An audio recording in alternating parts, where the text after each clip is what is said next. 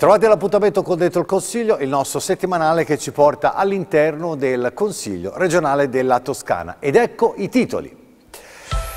Parliamo del fondo di solidarietà che è una mozione approvata all'unanimità per mm, Luana e soprattutto per le vittime di infortuni mortali sul lavoro. Poi c'è stato anche l'insediamento della commissione d'inchiesta sulle infiltrazioni mafiose e poi si ricorderanno con varie iniziative eh, i 700 anni dalla morte eh, di eh, Dante Alighieri. E la Regione Toscana manifesta alla famiglia di Luana Dorazio, come a tutte le vittime di incidenti mortali sul lavoro, la propria piena solidarietà mediante l'immediata erogazione di benefici previsti dal Fondo di Solidarietà. Lo prevede una mozione che è stata presentata da Marco Stelle Forza Italia sottoscritta da tutti i capigruppo, approvata appunto all'Aula all'unanimità. L'atto impegna la Giunta regionale anche a promuovere iniziative informative tesi a sensibilizzare sul tema della sicurezza nei luoghi di lavoro e a favorire l'introduzione di nuove tecnologie utili a questo scopo nelle imprese della Toscana. Vi ricorderete che Luana, 22 anni, madre eh, di un bambino di 5 anni, ha perduto la vita lunedì 3 maggio scorso in un'azienda tessile di Oste di Montemollo in provincia di Prato, dove lavorava circa un anno impigliata nel rullo di un macchinario. La Regione Toscana quindi ha istituito un fondo di solidarietà alle famiglie delle vittime di incidenti mortali sul lavoro con la legge 57 del 2008, poi modificata nel 2009. Luana e le altre vittime degli incidenti sul lavoro sono lì a guardarci, a chiedere conto, a chiedere responsabilità e impegno e il Consiglio regionale non ha lasciato cadere nel vuoto questo invito ma ha voluto subito proporre una risoluzione condivisa da tutte le forze politiche che impegni la Giunta proprio a lavorare al rafforzamento degli strumenti di contrasto eh, per quanto riguarda appunto il tema della, della, sicurezza, quindi di rafforzamento della cultura soprattutto della sicurezza, quindi molto da fare sul piano della formazione, eh, su un concetto di sicurezza che non deve essere vissuto come onere ma come investimento anche nella qualità della produzione che le nostre aziende portano avanti. A questo poi si affianca un altro strumento che è stato introdotto dalla precedente giunta ed è un fondo di solidarietà per i familiari delle vittime, in questo caso c'è anche un bimbo di pochi anni al quale il Consiglio e la Giunta vorranno certamente non far mancare il proprio sostegno, quindi nell'abbracciare la famiglia, nell'abbracciare tutte le famiglie delle vittime, ovviamente vogliamo essere loro vicini con atti concreti, non con la retorica che in questi momenti forse abbonda, ma con atti concreti che possono essere davvero di conforto, anche se minimo, ma di conforto per il dolore profondo che in questo momento i familiari stanno vivendo e a loro ovviamente va il mio abbraccio. Eh, intanto sono orgoglioso, contento che il Fondo per Luana Dorazio eh, affirma Marco Stella, eh, quindi di Forza Italia, che è stato portato in Consiglio regionale, sia stato sottoscritto, quindi firmato da tutte le forze politiche e votato all'unanimità. Questo certamente non basta, non basta dare un piccolo contributo, così come previsto dalla legge regionale, ai propri familiari per eh, addolcire il dolore, se si può parlare di addolcire il dolore, perché quella tragedia lì in Toscana e in Italia e nel mondo non deve più ripetersi. Ecco perché l'appello della madre è da un lato a chiarire quello che è successo credo che debba essere accolto con estrema serietà e si debba fare il prima possibile per accertare le responsabilità qualora vi fossero delle responsabilità e dall'altro mettere in campo tutte quelle azioni per far sì che gli incidenti sul lavoro non avvengano più. Molte famiglie si ritrovano in forte difficoltà dopo aver perso un proprio caro sul posto di lavoro e crediamo che in questo caso la Regione debba andare a supporto di chi eh, ha bisogno perché ci dobbiamo ricordare delle persone che non ci sono più, non solo nel momento in cui vengono a mancare, ma anche per il futuro di quella famiglia, per il futuro dei propri figli e cercare di dare sollievo a quelle famiglie che sono fortemente colpite. Abbiamo fatto un minuto di silenzio a inizio della seduta, io credo che debba rimanere a nostra memoria tutte le volte che succede un fatto così grave e eh, dobbiamo però anche trasformare in propositivo cercando di portare eh, un contributo a chi ne ha bisogno perché purtroppo è stato colpito da un lutto che non riporterà indietro assolutamente chi non c'è più, ma che deve dare una mano a chi deve guardare anche al futuro. È una tragedia e come tale bisogna non soltanto ricordare, non soltanto chiedere maggiore sicurezza, ma si deve poter fare qualcosa di più. È il motivo per il quale anch'io in prima persona ho firmato l'atto condividendo la proposta del Presidente Stella perché si possa fare qualcosa istituendo questo fondo e cercando di dare un contributo anche economico a tutti coloro che si trovano poi nelle condizioni di difficoltà a causa di un decesso di un proprio familiare e allo stesso tempo per contrastare ovviamente le morti bianche sui luoghi di lavoro. È un gesto concreto, significativo poi a noi sta anche la responsabilità di contribuire nel quadro della normativa nazionale ad aumentare i livelli di sicurezza sui luoghi di lavoro perché eh, le cosiddette morti bianche, vedere morire una mamma giovane, una ragazza, ma anche altri che nelle settimane scorse hanno perso la vita, altri ragazzi eh, per questioni legate al mondo del lavoro è insopportabile, è una responsabilità che ci portiamo tutti sulle spalle e che dobbiamo in qualche modo eh, eliminare, nel senso che dobbiamo migliorare la normativa e quindi ridurre questi tragici eventi. Il Vescovo durante l'omelia ha detto una cosa molto forte, Luana e tutti i morti sul lavoro sono tutti in piedi davanti a noi, che ci stanno chiedendo giustizia e tutela. Ecco, dovremmo fare probabilmente un fondo, istituire un fondo non soltanto per eh, Luana Dorazio, ma per tutte le persone che come lei sono tragicamente scomparse soltanto per cercare di lavorare e di portare a casa uno stipendio e magari l'hanno fatto con passione e con dedizione per il loro lavoro. Dovremmo pensare a, eh, a tutti loro e ricordarci che ogni perdita di vita umana sul lavoro è una grandissima sconfitta per la Toscana. Torniamo a una settimana fa, quello che è stato eh, l'appuntamento precedente di dentro il Consiglio, c'è un aggiornamento, l'ufficio di Presidente del Consiglio regionale ha nominato l'ufficio di Presidenza provvisorio della Commissione speciale sui vaccini, ne fanno parte i consiglieri Enrico Sostegni del Partito Democratico, già Presidente della Commissione Sanità, Marco Landi della Lega, Andrea Vannucci del PD, la nomina è giunta secondo quanto stabilito da regolamento interno dall'Assemblea, dopo che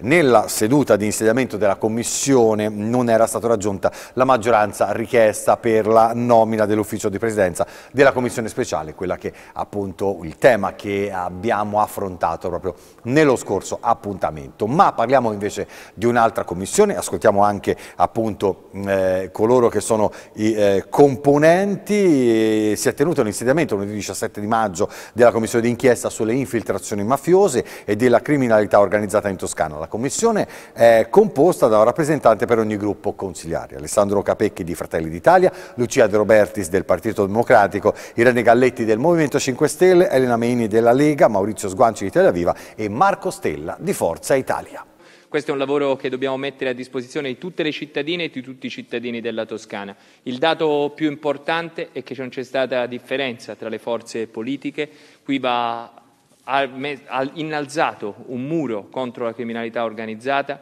La Toscana è sempre stata una terra che questo muro l'ha avuto molto alto e gli eventi delle ultime settimane ci fanno preoccupare, ci fanno preoccupare tanto e per questo è necessario che quella Commissione vada in profondità, audisca tutti i soggetti che possono essere interessati e costruisca le condizioni perché la Toscana sia sempre più una terra libera dalle infiltrazioni mafiose.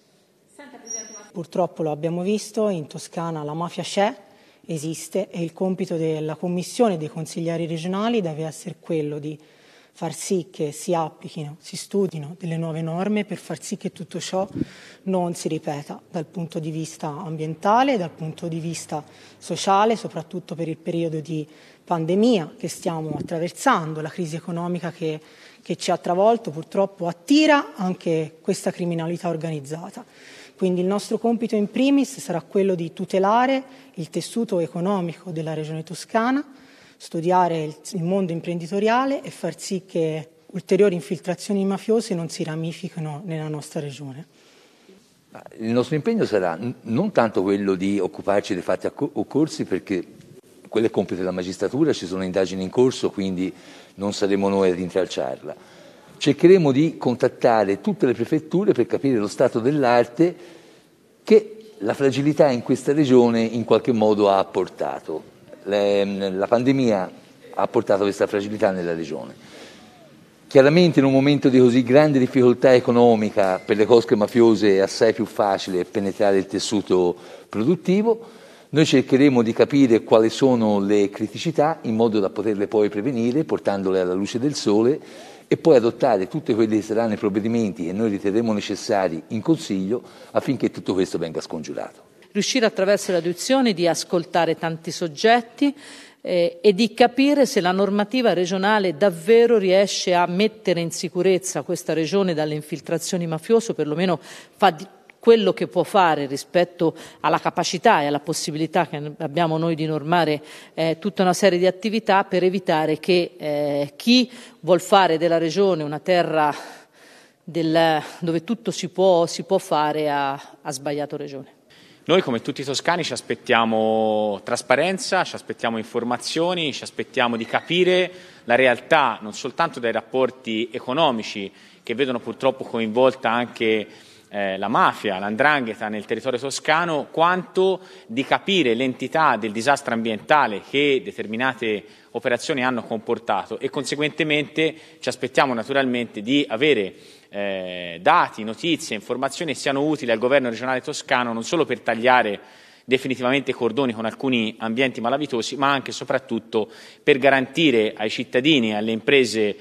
pulizia, eh, anche pulizia ambientale e soprattutto la possibilità di operare in un sistema economico corretto. Cercare di fare un, un'esatta panoramica della situazione ambientale in Regione Toscana che ha coinvolto eh, diciamo non soltanto lo scandalo Cheu ma anche altre iniziative dove ci siano coinvolgimenti della criminalità organizzata e cercare anche di fotografare quelle che sono le carenze del Consiglio regionale e della Giunta per quanto riguarda la permeabilità a eh, fenomeni di tipo corruttivo, ma anche e soprattutto di infiltrazioni di eh, organizzazioni malavitose e eh, connotazioni di carattere mafioso.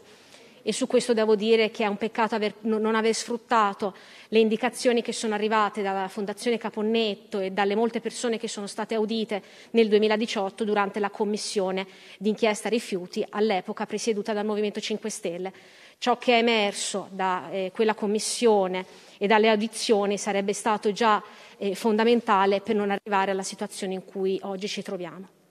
Passa a maggioranza dopo un lungo confronto la legge regionale per le celebrazioni dei 700 anni dalla morte di Dante Alighieri. L'atto nominativo presentato dalla quasi totalità della Commissione Cultura è stata approvata con il voto favorevole del Partito Democratico, Italia Viva, Movimento 5 Stelle, il voto contrario di Fratelli d'Italia e Forza Italia e l'astensione della Lega. Dante ha avuto con Firenze un rapporto tormentato, e ha sofferto, quindi è andato a morire fuori dalla Toscana, allora poterlo ricordare in un momento così significa anche fare i conti con la nostra storia. La storia non si cambia ma si studia, si approfondisce, se ne sottolineano gli elementi di identità e non c'è dubbio che Dante Alighieri per i toscani sia un elemento di forte identità. Con questa iniziativa vorremmo dal Consiglio regionale alcuni, mandare alcuni messaggi e fare anche un piccolo investimento a sostegno delle attività di produzione culturale. Quindi il Consiglio regionale